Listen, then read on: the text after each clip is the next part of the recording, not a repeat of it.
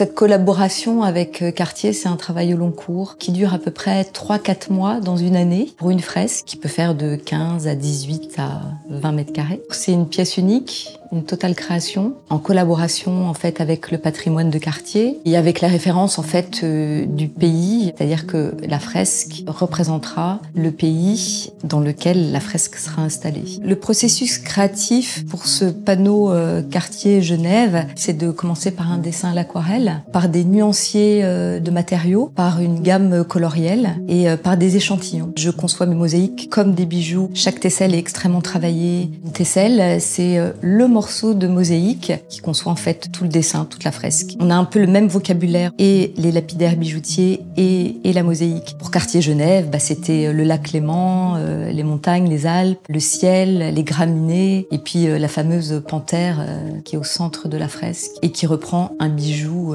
de Cartier. Ce qui est vraiment génial dans, dans ces fresques, c'est que ces fresques jouent avec la lumière du jour, de la nuit, de l'éclairage qu'on peut lui donner. C'est vraiment comme si je créais un écran qui révèle le, bijou exposé. C'est ça qui m'intéresse le plus, d'avoir cette possibilité technique d'apporter des nouveaux matériaux, de rendre la mosaïque que je fais la plus contemporaine possible. J'ai travaillé des inserts de mosaïque dans du béton. J'ai pu aussi travailler le marbre. Je ne l'avais jamais travaillé. Je suis toujours à la recherche de, de nouveaux matériaux aussi. Quartier, ça représente euh, l'excellence, le savoir-faire, la beauté en fait du bijou qu'on peut révéler par nos métiers d'art. C'est un peu nos nouveaux mécènes aussi. Ils nous permettent de pérenniser nos métiers et de les faire valoir au public dans ces boutiques.